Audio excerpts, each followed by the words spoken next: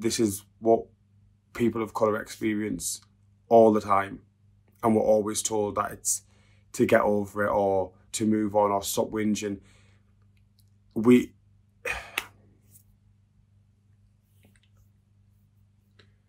Hi, my name is Nathan Henry and I am from MTV's Geordie Shore and I believe that Black Lives Matter. I have been quite fortunate in the sense that my friends and family have never made me feel any different for the colour of my skin.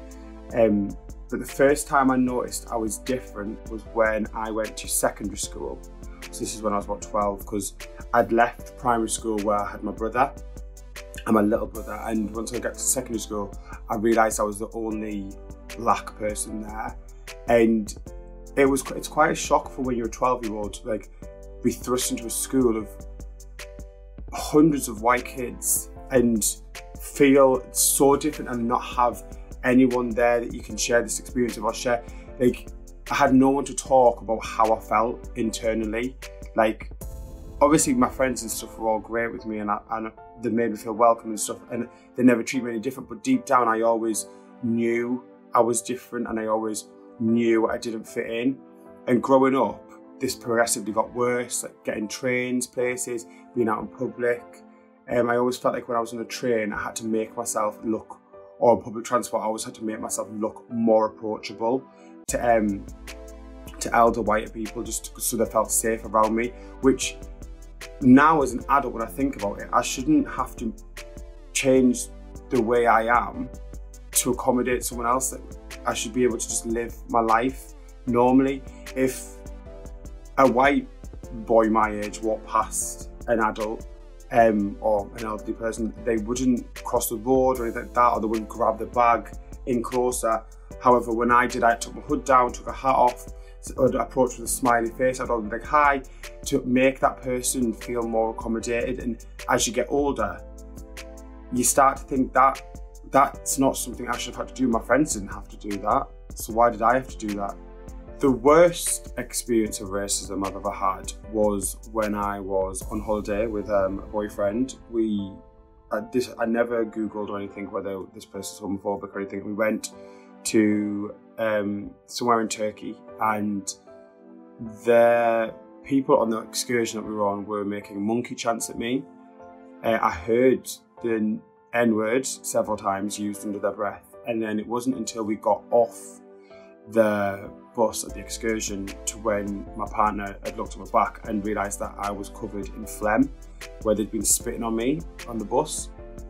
Now, when I've told people about this before, that oh well, that if this people's excuses straight away, well, it wasn't racist. It wasn't a racist attack. I was the only black person on that bus. It, they weren't doing it to my partner. They weren't doing it to any other person on that bus. It was a direct target at me.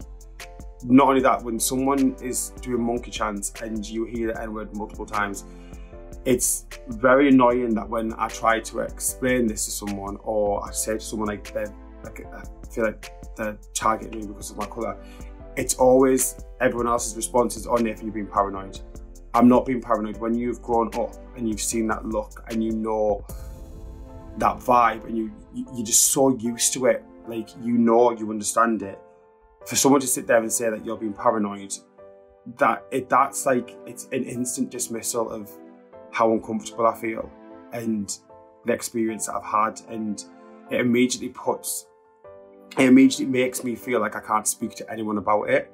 And when you when you've grown up with this like stuff like this it's like it's this it's it's difficult to talk because you, you know people are going to sit and watch this and be like, oh, you just you're going on like that, but I'm not. This is what people of color experience all the time, and we're always told that it's to get over it or to move on or stop whinging. We